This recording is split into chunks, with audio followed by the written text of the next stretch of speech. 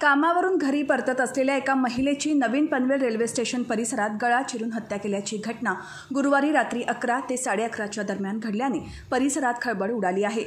प्रियांका देवतरसिंग रावत व एकोणचाळीस वर्षे राहणार महालक्ष्मी सिटी सोसायटी विहीघर ही गुरुवारी रात्री उशिरा कामावरून घरी परतत असताना नवीन पनवेल रेल्वे स्टेशन परिसरात एका अज्ञात इस्माने अज्ञात कारणावरून तिचा धारदार शस्त्राने गळा चिरून तो तिथून पसार झाला आहे.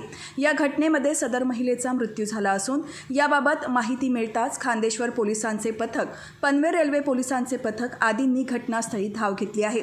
सदर महिलेची हत्या का आणि कोणी तसेच कोणत्या कारणासाठी केली याचा शोध खांदेश्वर पोलीस करत आहेत. पनवेल आणि नवी मुंबईच्या ताज्या घडामोडींसाठी मल्हार टीव्ही न्यूज सबस्क्राईब करा आणि बेल आयकॉन दाबून रहा अपडेट.